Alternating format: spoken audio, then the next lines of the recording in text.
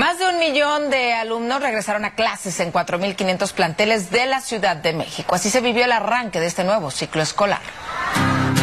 Con uniformes y útiles nuevos, los niños regresaron a clases este lunes para cumplir sus metas. En la Ciudad de México, más de 1.250.000 estudiantes de educación básica volvieron a las aulas. Desde las 7 de la mañana, 4.500 planteles escolares, de preescolar, primaria y secundaria, iniciaron el ciclo escolar 2024-2025. Un poquito difícil, pero ya. Porque cambiaron el uniforme, porque gasto de útiles. Entonces no nada más era él, eran tres, bueno son tres. Uno se me fue a la prepa y la otra a la primaria. Entonces sí, sí es comprar todo. Soy ahorita nerviosa porque mi hijo es su primer año de secundaria. Mucho éxito, mucha seguridad y pues que siga sus estudios y que le eche muchas ganas y que salga adelante. Algunos emocionados o nerviosos y otros aún con sueño, pero los estudiantes reflejaban esas ganas por adquirir nuevos aprendizajes. Es mi último, mi último, mi último año para Primaria, ¿no? de primaria para pasar a la secundaria. ¿Qué tal?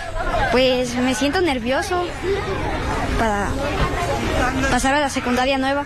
¿Emocionado? Sí. Eso. ¿Te levantaste temprano o te costó trabajo levantar? Pues me levanté temprano. No me costó mucho trabajo.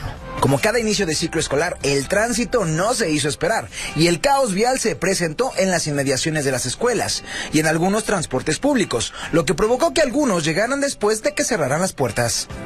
Todavía cuando terminó el ciclo escolar y hacíamos como media hora, pero yo creo que como ahorita es el regreso a clases y todos entran a la escuela, pues fue un caos. Pero ya estamos aquí. ¿Las dejaron pasar? Sí, sí nos dijeron, eso sí nos dijeron que un poquito más temprano. Les dijimos que sí, una disculpa. Es el primer día. Que entiendan tantito. Al finalizar sus turnos, los pequeñitos nos compartieron cómo les fue en su primer día de clases. ¿Conociste amiguitos?